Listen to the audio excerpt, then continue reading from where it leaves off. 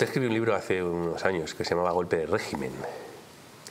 Y em, a, eh, a, cuenta de otra fecha negra ¿no? en la historia de España, de donde vienen mm, todos los episodios negros que se han sucedido en el siglo XXI, en España, 11 de marzo de 2004.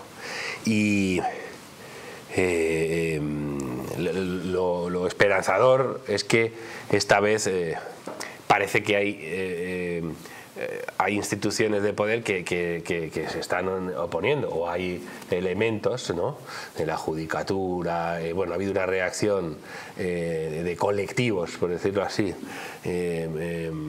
muy significados, muy influyentes que, se, han, se, han, manifestado, no sé, mucha gente yo creo que no esperaba la reacción de jueces eh, para la democracia, de, la, de la Unión Progresista de Fiscales, etcétera, ¿no? Entonces veremos a ver, porque efectivamente estamos en una situación muy grave.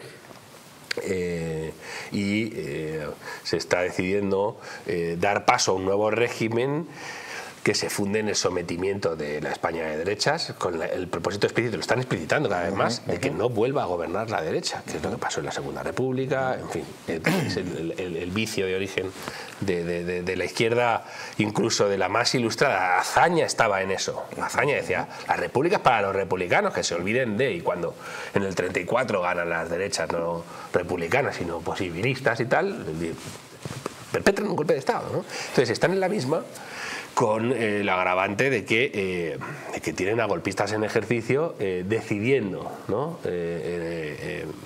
El gobierno y además dejando claro que o se independizan o van a establecer una relación de sometimiento y de enfeudamiento de España a sus, no sus comunidades, a, sus intereses o a su manera de ver eh, sus comunidades. Es, verdaderamente, estamos en, yo creo que es el momento más em, eh, eh, difícil que ha vivido España, España posterior al 78.